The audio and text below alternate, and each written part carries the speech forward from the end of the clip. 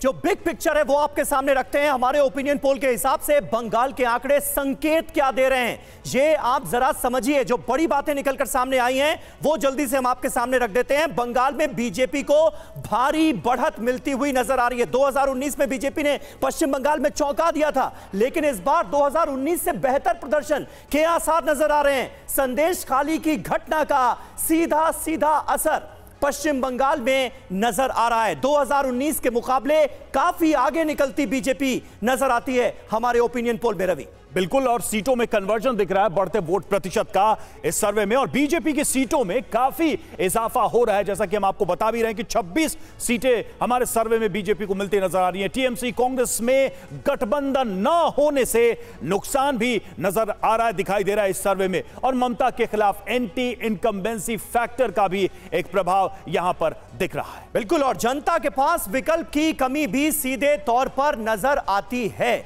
और हमारे साथ तमाम खास मेहमान मौजूद हैं। बादल देवनाथ साहब, ये मुद्दा जब से पूरे देश के सामने आया है, लगातार ज़िक्र हो रहा है ममता सरकार की नाकामी का। इस मुद्दे को जिस संवेदनशीलता के साथ डील किया जाना चाहिए था, वैसा किया नहीं गया।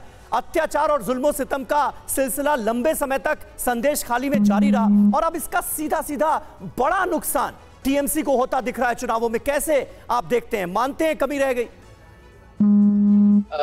समीर जी, उससे पहले मैंने मैं, मैंने कहना कहना चाहता हूँ, संदेश काली में जो लोग क्राइम किया था, उन सभी लोगों को स्टेट गवर्नमेंट ने अरेस्ट किया और उसके साथ साथ सीबीआई ईडी ने भी अरेस्ट किया है और दूसरा बात है संदेश काली अभी कोई मुद्दा नहीं है। संदेश काली जो समस्या था ज़मीन का वो स्टेट गवर्नमेंट ने बीडू एस देके सबको वापस कर दिया कोई समस्या उसके लिए। समस्या तो है।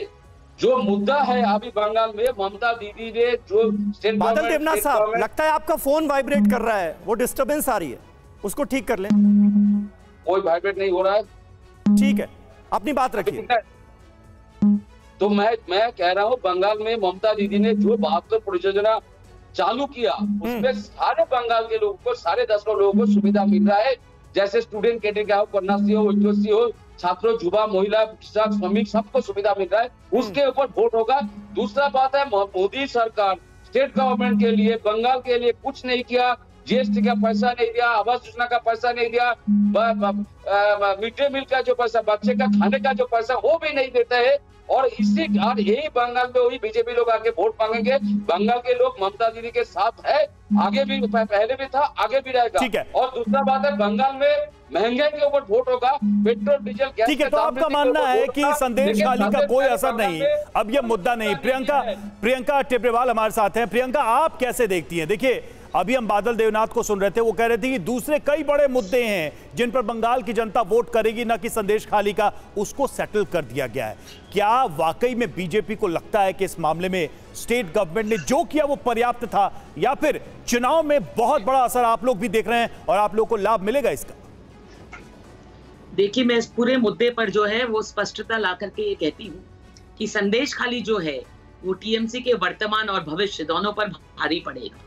देखिए औरतों की जो गुहार थी वो मुख्यमंत्री ने अस्वीकार की है। मुख्यमंत्री ने उसे झुटलाया मुख्यमंत्री ने कहा ऐसा कुछ नहीं हुआ। अभी बादल देवनाथ जी ने इसे मानते हुए कहा कि जो भी क्राइम वहाँ हुआ था क्रिमिनल्स को पकड़ा गया। तो हम्म। जब कुछ हुआ ही नहीं था तो उनको क्यों पकड़ा गया? ये सबसे बड़ा मुद्दा है। देखिए दूसरी बात जब आपके पत्रकार यहाँ कह रहे थे कि किस तरह के कैंप यहाँ लगे हैं तो उस पर भी मैं रोशनी डालते हुए उसको प्रकाशित करते हुए आपको ये कहती हूँ कि कोर्ट के आधार पर कोर्ट के फैसले के अनुसार मैं एक वकील के तौर पर वहाँ पर एक मैंने पिटिशन डाला था पीआईएल हम्म। उस पीआईएल को स्वीकार करते हुए कोर्ट ने मुझे ये ज़िम्मेदारी दी कि मैं उन औरतों की आवाज़ बन करके उनकी जो कंप्लेन है वो कोर्ट के पास लेकर के आऊँ क्योंकि ये सब ड्रामा कर रहे थे। ये कह रहे थे कि हमने पुलिस को बैठाया आइए कंप्लेन करिए। और पुलिस कह रही थी कोई आ ही नहीं रहा है कंप्लेन कर ही नहीं रहा है।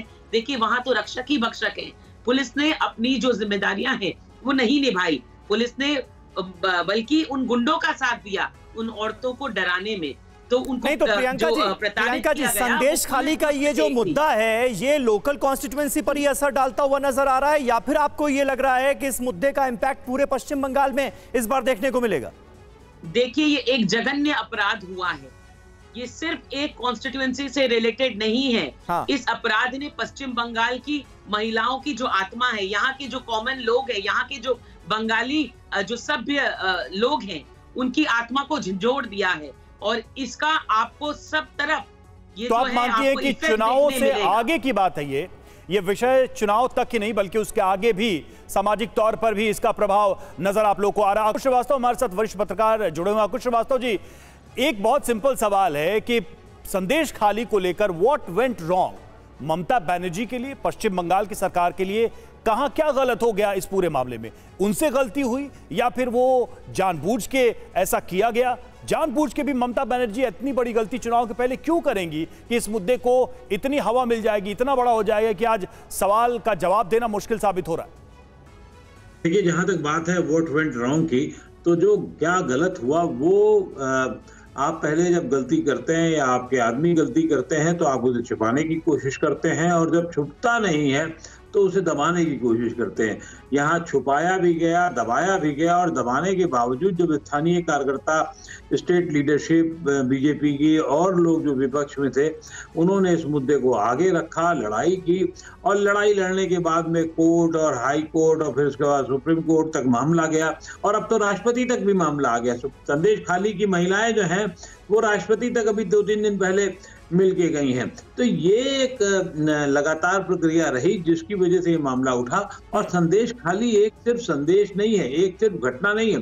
संदेश खाली के पहले भी पश्चिम बंगाल में कई ऐसी घटनाएँ हुई, जिसमें ये लोगों को लगा, स्थानीय लोगों को लगा कि महिलाओं के साथ अत्याचार हो रहा है या दमन की चीज़ें हो रही हैं।